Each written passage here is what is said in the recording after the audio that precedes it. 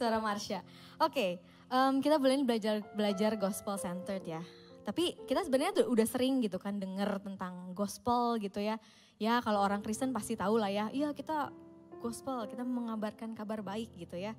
Sebagai orang Kristen kita tahu bahwa kita tuh diselamatkan ya kan untuk um, Tuhan Yesus menebus kita ya turun ke dunia untuk kita semua sehingga kita beroleh keselamatan. Ya kita semua tahu itu ya. Tapi aku mau ingetin lagi, yuk kita langsung baca di Efesus 2 ayat 4 sampai 5. Aku pengen kita baca bareng-bareng sebelum kita mulai lebih jauh ya. Pengen ingetin ayat ini.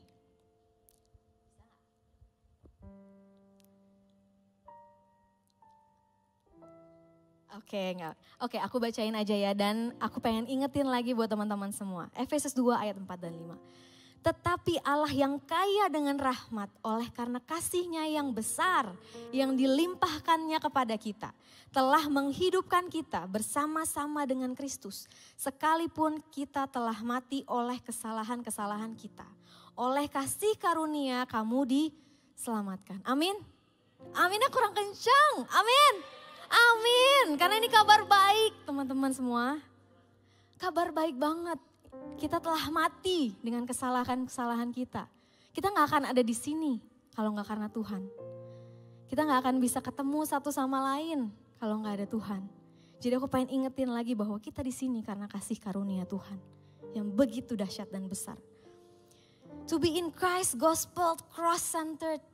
Harus gimana sih kak emangnya? melakukan apa pun dalam kehidupan kita dengan berpusat sepenuhnya kepada Tuhan dan anugerah Tuhan. Tadi next slide. Melakukan apa pun dalam kehidupan kita dengan berpusat sepenuhnya kepada kasih Tuhan dan anugerah Tuhan. Segala aspek dalam kehidupan kita teman-teman. Semuanya loh tanpa terkecuali. Nah abis ibadah ini kita pasti pulang ada yang makan, ada yang mungkin ada kegiatan lain, ada yang mungkin kerja lagi gitu ya, atau mungkin masih dengan struggles yang belum um, terselesaikan mungkin. Tapi that's life. Tapi kita nggak akan lupa bahwa ke mana pun kita melangkah, anugerah Tuhan ada atas kita. Amin. Amin. Dan hidup di dalam Tuhan membuat kita melakukan apa pun dengan sadar bahwa kita dikasihi, hidup kita itu adalah anugerah.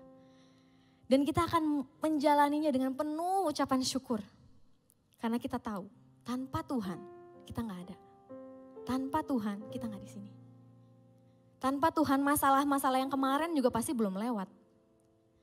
Karena kita masih berputar di situ-situ aja. Tapi tak dengan Tuhan kita hidup dalam kasih dan anugerah Tuhan.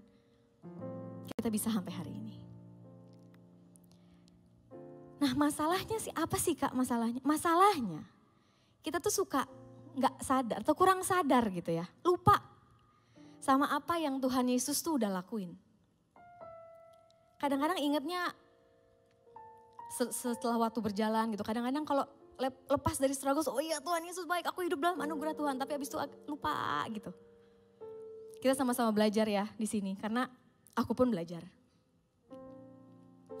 Lupa ingetnya mungkin kalau aku zaman dulu cuman uh, Natal sama Paskah doang.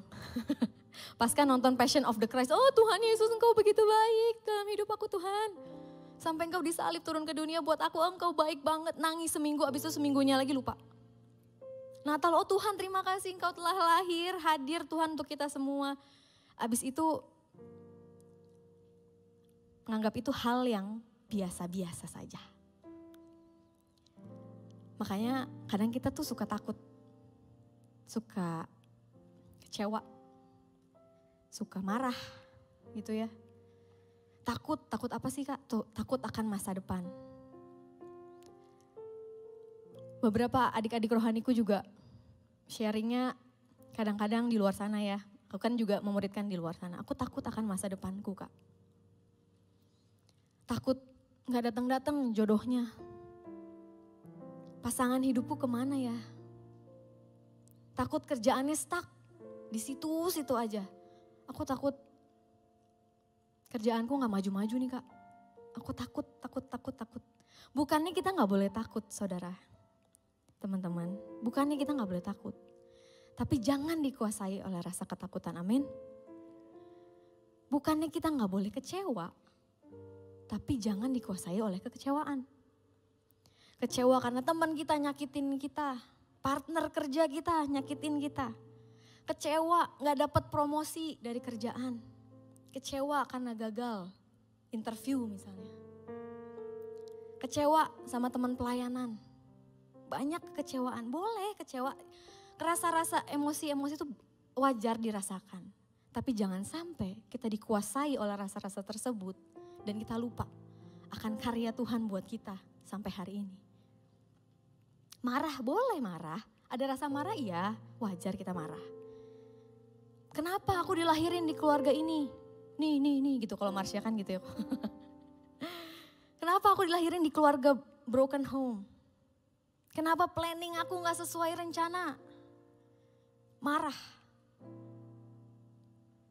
Jangan sampai kita dikuasai sama kemarahan dan kita lupa. Kita di sini karena Tuhan. Karena kasihnya, anugerah Tuhan. Next slide. Amsal 4 ayat 23. Jagalah hatimu dengan segala kewaspadaan, karena dari situlah terpancar kehidupan. Dari hati. Semuanya berawal dari hati.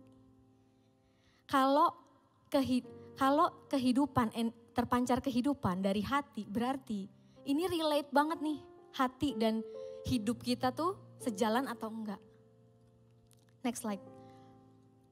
Waktu kita punya hati yang benar, pemikiran kita pasti benar. Biasanya kalau hatinya sakit, pemikirannya juga sakit.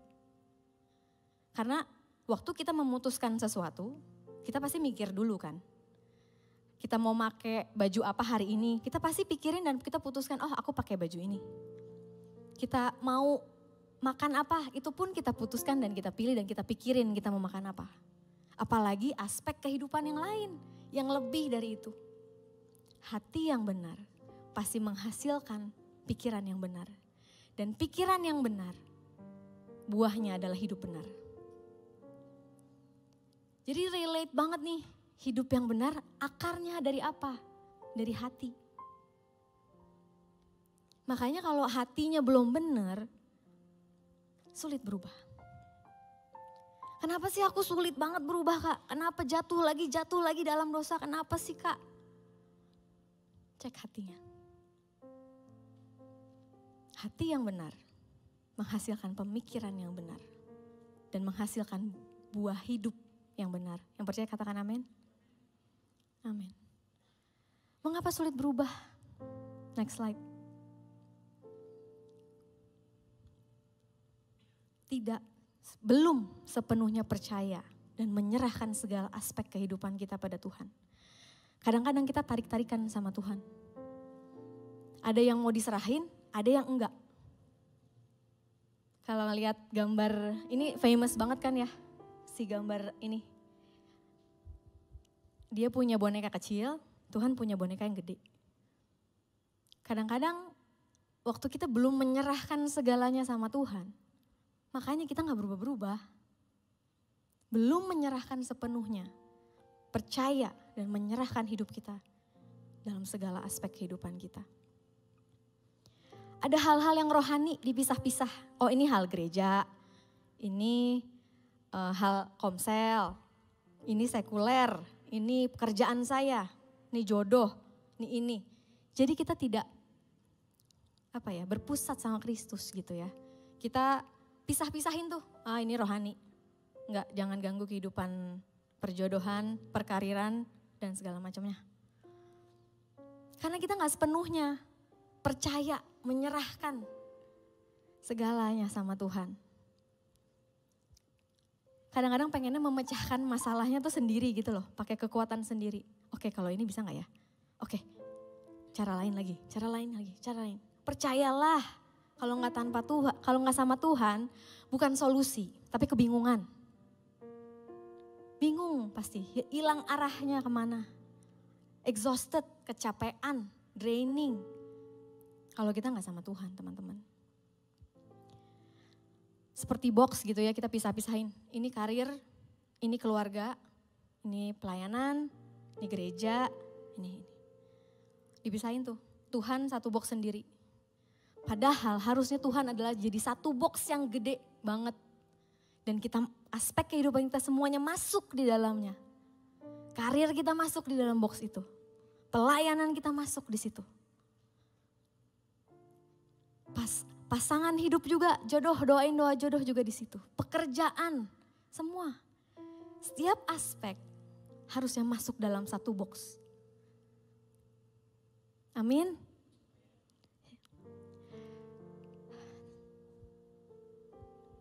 Aku ini ya sharing ini, aku tuh kayak ini loh. Kayak lagi bilangin diri sendiri gitu. Karena aku mau belajar juga untuk kita terus berpusat sama Kristus. Kita taruh segala aspek hidup kita di dalam satu box itu, yaitu Kristus Yesus. Amin. Yang kedua, next slide. Kenapa sih sulit berubah? Distraction. Ada gangguan. Di sini siapa yang cewek-cewek kalau di mall lihat diskonan ke distract gitu? Saya. Saya kan? Skincare diskon. Ah, langsung. Kayak, uh 70%. Kalau yang namanya lihat 70% tuh nggak bisa nggak sih nggak masuk? Meskipun cuma lihat doang, ya kan? Meskipun awalnya kita cuma mau grocery shopping doang, beli buah misalnya. Tapi karena ngelihat skincare diskon, eh kita ke distract, kita masuk dulu ke sana. Gampang ke distract memang manusia itu. Jomblo yang cowok-cowok lihat cewek yang cantik gitu ya. Waduh langsung. Mata tuh nggak bisa bohong karena anak-anak KIS itu dulunya youth bareng gue juga. Jadi tahu gitu ya ininya. Gelagat-gelagat itu tahu banget. Ke distract gitu kayak lagi makan kayak makan ini sendok di sini ya, tapi matanya gini gitu. Kelihatan banget. Gampang ke distract sama hal-hal yang kita nggak punya. Lihat Instagram orang, wah dia udah liburan ke situ ya, aku belum. Padahal kemarin dia baru aja misalnya liburan ke Bandung gitu ya. Tapi lihat mereka yang lebih, aku belum ke situ. Kerjaan orang lihat mereka dipromosi. Padahal kita lagi fokus sama kerjaan kita. Mereka lihat mereka dipromosi. Apa gue pindah kerja aja ya? Apa gue uh, ini aja ya? Enggak, gue kok enggak enggak kayak mereka ya. Tapi kita enggak fokus apa yang kita kerjakan. Kadang kan kita suka ke distract gitu. Apalagi hal-hal yang duniawi. Suka banget kita ke distract tuh. Next slide. Kalau setiga, ayat 5. Karena itu, matikanlah dalam dirimu segala sesuatu yang duniawi. Yaitu percabulan, kenajisan, hawa nafsu, nafsu jahat dan juga keserakahan. Yang sama dengan penyembahan berhala. Wow, ternyata penyembahan berhala itu bukan cuma soal patung. Tapi banyak hal-hal yang disebutkan di ayat ini. Kenapa sih disuruh dimatikan hal-hal kayak gini tadi yang di dalam Kolose 3 ayat 5 ini? Karena manusia kalau udah dikuasai hal-hal yang kayak gini, yang tadi hatinya jadi nggak benar, pikirannya jadi nggak benar, so hidupnya juga jadi nggak benar. Setuju ya? Kadang-kadang kalau kita udah dikuasai hawa nafsu, itu tuh pikiran-pikiran kita tuh udah gak benar pasti. Kalau kita dikuasai sama keserakahan, segala cara pasti kita bikin oke-oke aja. Makanya kalau setiga ayat lima bilang, karena itu matikanlah dalam dirimu segala sesuatu yang duniawi. Dan seterusnya. Yang sama dengan penyembahan berhala. Kenapa sih? Karena hidupnya akan terdistract dengan hal-hal yang kayak gini, yang jadinya berhala dalam kehidupannya. Bukan Tuhan lagi, tapi hal-hal yang kayak gini, yang sudah disebutkan. Selain Tuhan. Next slide, John Calvin bilang gini, The human heart is a factory of idols. Every one of us from his mother's womb expert in inventing idols. Hati manusia itu pabriknya berhala. Setiap dari kita, dari um, kandungan ibu, ahli dalam menciptakan berhala. Belum. contoh um, contoh manusia suka memberhalakan sesuatu itu kayak gini nih. Ada seorang pria, aku kasih contoh ya. Seorang pria yang dulunya dia suka dugem, suka kehidupan malam. Semuanya hal e, hal-hal yang nakal dia suka. Nah singkat cerita, dia dapat pekerjaan yang stable, bagus. Wah pokoknya gajinya gede. Kemudian dia menikah, hidupnya bagus dengan istrinya, dia punya anak, punya keluarga yang harmonis, pulang kerja sama istrinya. Kerjaan juga lancar, berjalan baik, bertahun-tahun berjalan, berjalan baik. Dan dia bilang, tuh kan lihat tanpa Tuhan juga bisa. Tanpa Tuhan bisa gue hidup benar begini. Oke-oke aja. Kerjaan gue bagus, lancar, oke. Tapi singkat cerita selang beberapa tahun kemudian, dia terdistrek sama seorang wanita. Dan akhirnya dia selingkuh Kenapa bisa? Karena ternyata kerjaannya yang dulu, yang dia anggap menarik, yang dia anggap dia agung-agungkan, sudah tidak menarik lagi. Artinya dia berpindah dari berhala yang satu ke berhala yang lain. Dulu mungkin berhalanya di kerjaannya dia. Sekarang berhalanya di perempuan. Kenapa sih ada orang yang suka selingkuh? Ya karena dia tidak menjadikan Yesus sebagai pusat dalam kehidupannya. Yang dia jadikan sebagai berhalanya adalah hawa nafsunya. Sebagai berhala dalam kehidupannya. Bukan Yesus sebagai pusat dalam kehidupannya. Ada juga mungkin, kalau ini mungkin berhalanya di karirnya, kehidupannya, penerimaan. Ada juga penerimaan lewat, mungkin kalau dulu aku sempat bertemu ya, tapi sekarang udah gak tahu di mana ada seorang perempuan yang kerjaannya beli tas branded terus gitu ya. Wah ratusan juta ya, uh ratusan, pokoknya bangga banget kayak uh senang banget dibawa ke mana-mana. Kalau perlu di sini gitu ya di depan mukanya. senang banget kalau di meja pun kayak kalau kita makan dia di sini, ya saya nggak lihat dong muka anda gitu ya. dibawa ke mana-mana, bukan salah untuk membeli tas itu, enggak, bukan salah membeli dan punya. Aku pun suka, bagus banget. Aku pun suka ngelihatnya. Bukan salah untuk membeli dan punya. Tapi akan salah dan jadi berhala apabila motivasi hati kita itu supaya kita mendapatkan penerimaan dan penghargaan dari orang lain. Padahal Yesus sudah terlebih dahulu menganggap kita berharga di matanya. Padahal Yesus sudah menganggap kita bernilai di matanya. nggak disapa sama bawahan atau orang-orang kantor sebagai atasan misalnya. Langsung rasanya kita tuh kok dia kok nggak nyapa saya. Rasa egonya langsung aktif, pride-nya tergores. Oh dia nggak nyapa saya ya. Padahal Yesus kita tebus, tebus kita dengan harga yang mahal. Karena kita sudah berharga di matanya. Kita tuh nggak nilai kita nggak ditentukan sama barang-barang itu. Nilai kita nggak ditentukan kita disapa atau enggak. Kita dihargai sama orang atau enggak. Nilai kita sudah sangat-sangat berharga. Waktu Yesus bayar kita dengan harga yang mahal. Next slide yang tadi.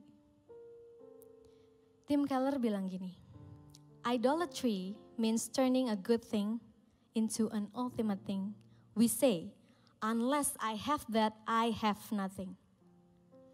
Segala sesuatu yang harusnya jadi yang harusnya baik, itu bisa jadi nggak baik karena hati kita loh, karena fokus kita. Ada ada berhala-berhala sepertinya yang kita nggak sadar, tapi ternyata kita punya itu. Next slide. Ini. Ini juga dari tim Keller.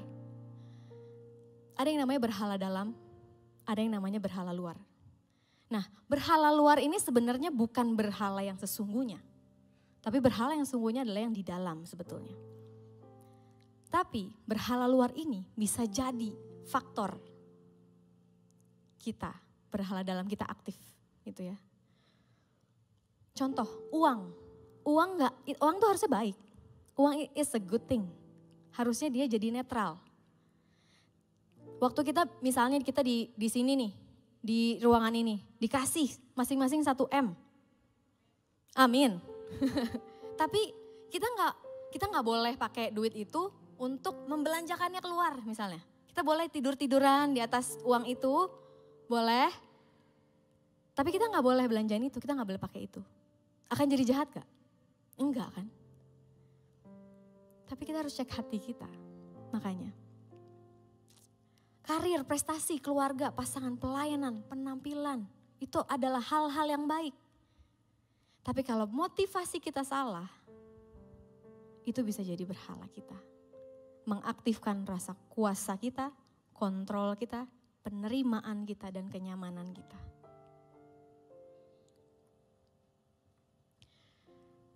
Kalau kita masih hidup dalam keadaan seperti ini, teman-teman, saudara, hari-hari kita itu pasti dibelenggu sama tekanan. Tekanan penerimaan dari luar, tekanan gue berharga atau enggak. Banyak dan ini bahaya sekali. Bahaya banget. Kita bisa pakai uang untuk menguasai orang. Kita bisa pakai kesuksesan untuk mengontrol orang. Kalau berhala kita di penerimaan, kita akan sangat terganggu dan peduli akan apa aja orang-orang yang ngomongin tentang kita. Kita peduli banget karena berhala kita di penerimaan. Kita nggak bisa tidur karena tahu ada yang ngomongin kita. Aku nggak di like kak, aku di unfollow, aku di mute kak. Salah aku apa? Misal, ketawa sih. Misal, ini tapi ini kejadian nyata banget kok. Karena sosial media itu udah erat banget sama kita sekarang. Unfollow, like, mute itu adalah sesuatu yang kayaknya me, apa ya, mencerminkan nilai kita. Padahal jauh dari itu Tuhan sudah memberikan nilai buat kita yang sangat berharga. Gak bisa tidur karena gak di like. Aku di mute, di unfollow. Gak bisa tidur, diomongin, insecure. Mungkin gak pede, insecure sama penampilan kita biar bisa diterima sama orang lain, kita berusaha banget untuk menjadi orang lain. Aku pengen pakai itu, pengen pakai ini. Memuaskan apa yang kita nggak butuh untuk impress orang lain. Biar apa? Biar kita diterima. Mungkin kalau pasangan kita atau siapa pun apa ya jadi berhala kita mungkin waktu dia ibadah waktu dia nggak ibadah kita juga nggak ibadah misalnya ah dia nggak ibadah deh aku juga nggak ibadah padahal ibadah tuh karena Tuhan bukan karena pasangan Next slide. Saudara, teman-teman, jangan sampai kita mencintai, kita mengingini, kita menikmati sesuatu lebih daripada Tuhan. Jangan sampai kita menganggap hal lain lebih daripada Tuhan. Jangan sampai kita ingin mendapatkan sesuatu lebih daripada Tuhan. Biar Tuhan saja yang paling dalam kehidupan kita bilang sekarang kiri, Tuhan itu si paling dalam hidup gue. Amin. Paling, dia tuh paling. Dia harus jadi landasan, harus jadi pusat dalam kehidupan kita. Terus gimana kak cara ceknya berhala? Kita punya berhalanya di mana? Cara ceknya adalah gini. Kalau ada kejadian atau misalnya ada di situasi tertentu, kalau ada emosi, yang keluar misalnya kesel, marah, gondok, tersinggung, resah gitu ya, takut, khawatir, putus asa, mungkin juga iri hati, bisa juga. Kita harus cek, itu adalah alarm. kalau berhala kita tuh lagi diusik. Resah mungkin karena rencana nggak berjalan dengan sesuai keinginan gitu ya. Kadang kalau aku udah planning sesuatu gitu ke depan terus nggak kejadian gitu ya. Itu rasanya kok resah banget, gelisah dan segala macam. Berarti berhalaku ada di kontrol. Aku harus cek hatiku juga. Gak nyaman mungkin karena digosipin sama teman-teman. Gak nyaman diomongin sama orang. Berarti berhala kita di penerimaan akan orang lain. Biasanya idenya diterima gitu ya. Apa-apa, oh ya bagus idenya, oke boleh. Kali ini enggak. Pride-nya mulai tergores. Marah. Berarti berhala kita ada di power, ada di kuasa.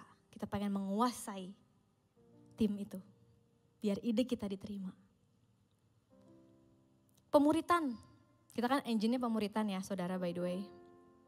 Ada anak murid yang kak minta waktunya dong dikit, aku mau sharing. Nah misalnya di rumah kita lagi santai-santai nonton uh, film, makan kacang gitu ya. Aduh kacang. Enak tuh. lagi pemuri, lagi nyaman-nyamannya gitu, lagi misalnya pulang kantor gitu, lagi makan, nyemil, enak-enak. Kak aku minta waktunya sebentar ya, aku mau ngomong, aku mau bagi, ini bagi sesuatu, aku resah banget nih kak. Kenyamanan terus, aduh ngapain sih dia ini. Mulai bete, mulai resah. Berarti berhala kita masih di kenyamanan. Di comfort zone saya mau cerita sedikit tentang saya pernah satu kali di sebuah acara TV ya. Waktu itu saya jadi sinden di sana. Awal-awal sinden itu kan saya banyak belajar. Nggak langsung juga bisa gitu ya. Banyak hal-hal yang disesuaikan. Banyak kritik gitu. Banyak masukan dan segala macamnya. Saya ngerasa aduh kok banyak banget kritiknya gitu ya. Harus ini, harus itu, harus lebih gemulai, harus lebih apa gitu. Banyak sekali kritiknya. Satu ketika saya capek sebagai manusia kita juga bisa capek ya, gitu ya. Tapi itu saya mencoba buka YouTube, lihat-lihat sinden-sinden lain yang bukan ada di TV itu, yang sinden-sinden yang memang ya nggak punya program TV lah gitu. Terus saya mulai gini, bandingin sama mereka. Ah, lihat nih, dia, dia kan nggak bisa masuk situ, bagusan saya. Bagusan kerenan gue ah. Oh, gue lebih oke dari mereka nyanyinya. Gemulainya juga bagus kok saya gitu. Supaya saya tuh merasa lebih baik. Supaya saya dapat apa? Penerimaan. Comfort. Kenyamanan. Padahal kritikan itu juga membangun buat saya. Dan akhirnya juga saya bisa lanjut di program itu karena kritikan-kritikan itu saya jalani. Tapi saya sadar waktu saat itu titik itu saya, oh ya Tuhan, ternyata saya mencari pembenaran diri dan merasa lebih baik waktu saya lihat ah dia lebih jelek dari saya. Nah, apa berhala kita? Yuk. Dalam hati kita. Tadi kalau se 3 ayat 5 sampai 7 sekarang aku bacain sampai 7 ya. Kalau saya kalau setiga ayat 5 sampai 7. Karena itu matikanlah dalam dirimu segala sesuatu yang duniawi yaitu percabulan, kenajisan, hawa nafsu, nafsu jahat dan juga keserakahan yang sama dengan penyembahan berhala. Semuanya itu mendatangkan murka Allah atas orang-orang yang durhaka. Dahulu kamu juga melakukan hal-hal itu ketika kamu hidup di dalamnya. Memang hati kita tuh cenderung kepada berhala-berhala tersebut gitu ya. Memang, tapi di sini Tuhan bilang itu dulu, bukan sekarang. Dan dan kasih Yesus tuh begitu besar banget buat kita. Jadi kita nggak usah tanya lagi teman-teman, saudara, Tuhan sayang gak sih sama kita? Nggak usah tanya lagi, karena kasih Tuhan tuh besar banget. Lihat di Efesus 2 ayat 1.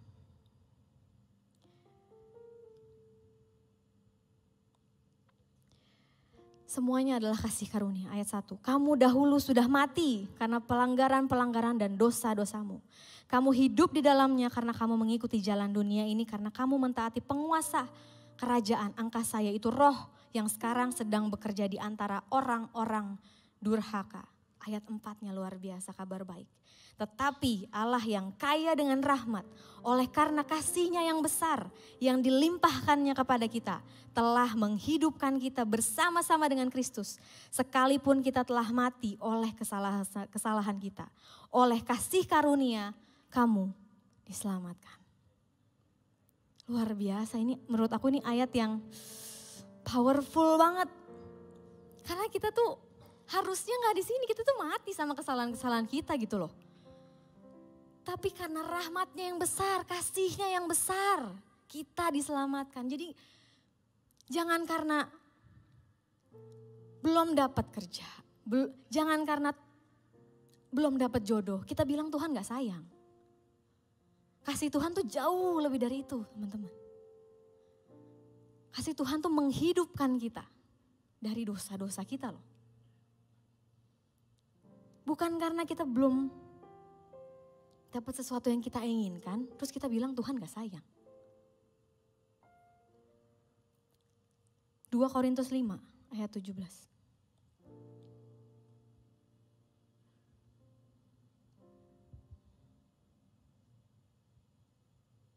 Ada. Jadi siapa yang ada di dalam Kristus? Ia adalah ciptaan baru. Yang lama sudah berlalu, sesungguhnya yang baru sudah datang. Ih, excited banget gak sih? Boleh kita tepuk tangan. excited banget. Ia adalah ciptaan yang baru. Barang siapa di dalam Kristus Yesus. Ia adalah ciptaan yang baru. Karena yang lama sudah berlalu. Aku sebutin lagi manusia baru di Kolose 3 ayat 9. Kita banyak baca. Karena aku pengen nekenin bahwa kita tuh manusia yang baru teman-teman. Kita tuh bisa. Jangan lagi kamu saling mendustai karena kamu telah menanggalkan manusia lama serta kelakuannya.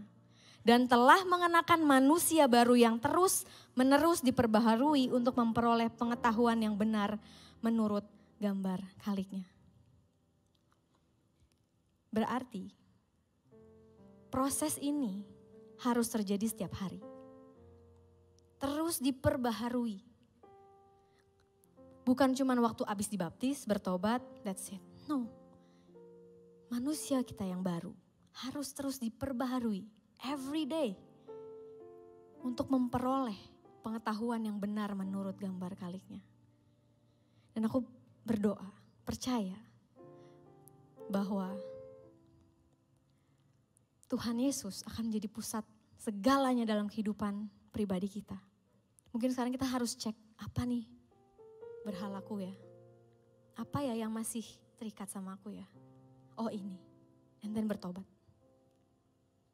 Ingetin lagi bahwa Yesus adalah pusat dari segalanya. Cek hati kita masing-masing. Bukan aku sempurna, aku pun masih ada. Dan kita sama-sama belajar. Biar berhala itu kita injek-injek, kita singkirkan dari hidup kita, biar Yesus saja yang bertahta dalam kehidupan kita. Ada satu yang aku penutup, ada satu lagu yang aku tuh sebenarnya agak takut nyanyiin ini ya, tapi justru lagu ini tuh mengingatkan aku, suruh cek apakah ada berhala-berhala dalam hatiku. Lagunya gini. So take everything. I don't want it. I don't need it, God. So take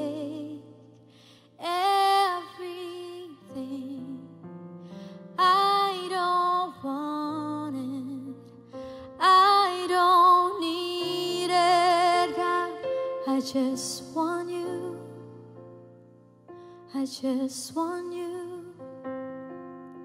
I just want you. I just want you. Yes, I just want you. I just want you. I just want you. Just want you. Teman-teman bayangin. Take everything, I don't want it. Aku mau sih, Tuhan. Tapi lagu ini tuh seperti ngajak aku ngecek kalau Tuhan ambil semua. Apakah Yesus masih pusat kehidupan kita? Apakah Yesus masih jadi center of our lives atau enggak? Lagu ini ngajak ngecek ternyata. Awalnya aku ragu-ragu nyanyiin ini tapi ternyata Roh Kudus bilang, cek hati kamu. Dan Tuhan tuh tahu keperluan kita dan kebutuhan kita. Dia nggak akan membiarkan kita sampai tergeletak. Firmannya bilang begitu. Tapi waktu nyanyi, mau nyanyiin lagu ini aja aku takut, aku ragu. Dan aku ternyata cek. Ternyata aku masih takut ya Tuhan. Aku masih punya berhala kontrol ya Tuhan. Apa pun teman-teman, aku ternyata masih punya berhala power. Anything. Tapi lagu ini mengingatkan kalau Tuhan pun ambil semuanya, itu nggak akan merubah hati kita yang terus berpusat pada kasih anugerahnya buat kita. Amin. Amin. Yuk mari kita bangkit berdiri. Kita nyanyikan lagu ini sama-sama.